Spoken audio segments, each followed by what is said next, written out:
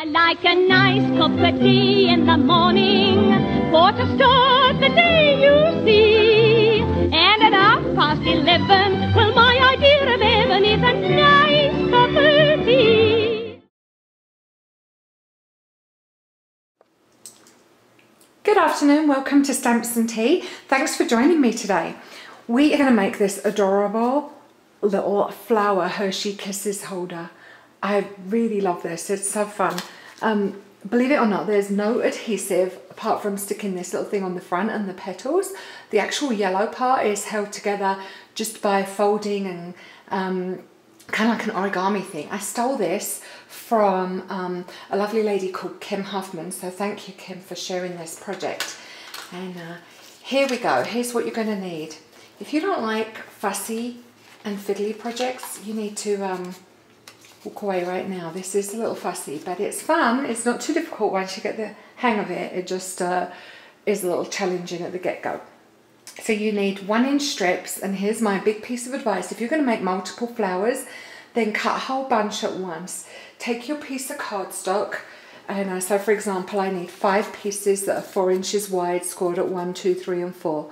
And what I would advise you to do is to cut a long piece of cardstock that's four inches wide, pop it into your paper scorer and then score the whole long sheet all at once. So put your long piece in, score all the way down your page and then cut it into one inch strips and that's going to help it go a lot faster.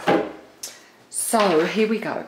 Uh, we have one piece that's 11 inches long, one that's seven and a half, and then five that are four inches long and they're all one inch wide. So we're going to start with the long piece.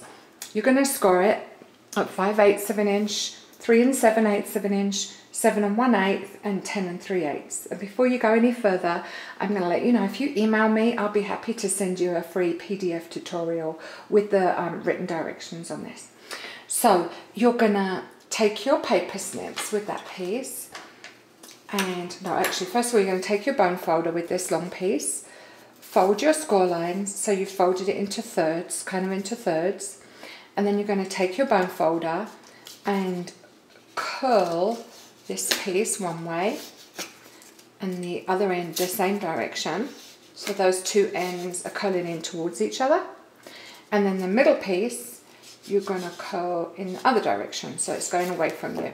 So you end up with kind of like a, a wiggly shape like that. Then the side that is this piece, the medium piece, you're going to take the center point and score that and then take the other center point and score so that's kind of C-shaped. This is going to help you fold your flower so that it doesn't have ridges on the top of it. Okay, now with your long piece, you're going to take your paper snips and see how I marked with the green there?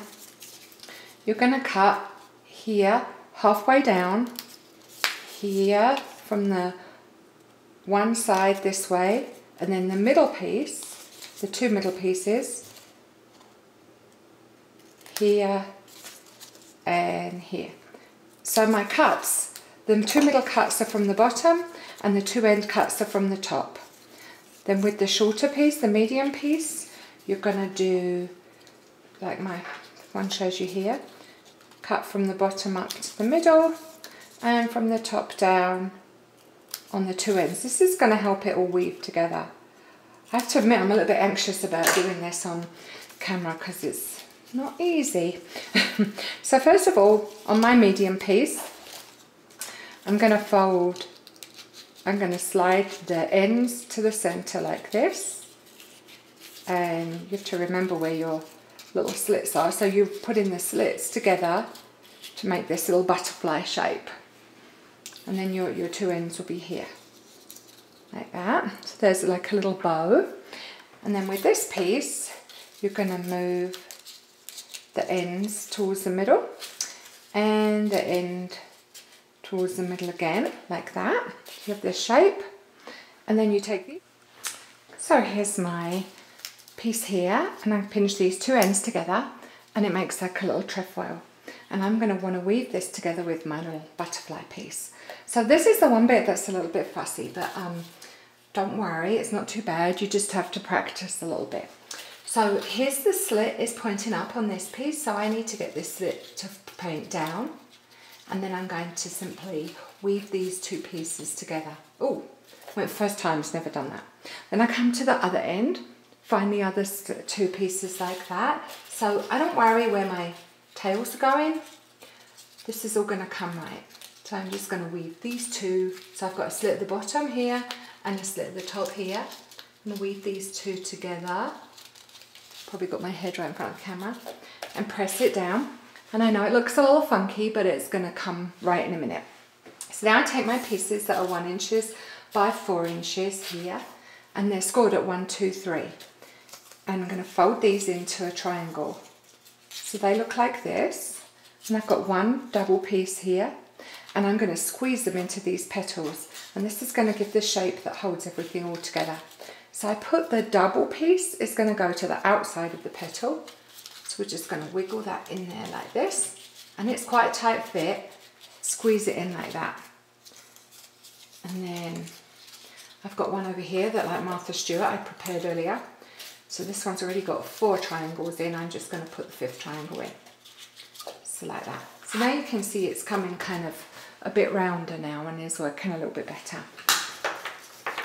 And then don't worry if you struggle with this at first, weaving these two pieces together. The first time you do it, it's kind of a challenge. And then once you get it, it's really not bad. You just got to kind of persevere. So now I take my candies and I'm going to squeeze them into the holes. And it's quite a tight fit. So I'm going to do them all from one side. And this way, all the papery pieces of the kisses points up. And then when I turn it upside down, it will look all tidy. So see if you kind of have to smush them in there, but then they don't fall out, see? Okay, stays pretty tidy, isn't that so cool? And I'm gonna come back, and then although my flower was funky to start with, like this, once you put those triangles in and put all the, the candy in, it helps it keep its shape. So now I've got this image from Around Array, and I'm stamping this in Rich Razzleberry, and then punching it out with a seventh inch scallop circle punch. I had to pick these colours because these are Bayfield colours, purple and gold. Go Wolverines. I'm going to stick this together on here. So I'm just simply going to put a puffy right in the middle and stick my flower on top of there. And then I'm going to take a diamond, one of these jumbo rhinestones and plop it right in the middle. So pretty. Then I got two wild wasabi scallop oval punch petals and I'm going to put a couple of glue dots on the back of here. Remember, never touch your glue dot. Always press your, whatever it is you want to stick onto that and let it, let it um, touch the glue dot instead of you picking it up because they just make a big mess. So I'm going to stick these two petals on like that and that helps hold my candy in. And here's my finished little project. Isn't that so cool? Pretty easy and uh, a lot of fun. It just takes a little fiddling around. So anyway, like I said earlier, if you would like the tutorial with all the measurements and then step-by-step -step instructions, please um, email me and I'll send you a PDF of that. And then also another thank you to Kim Huffman who um, I stole this idea from. Have a great day. Bye-bye now.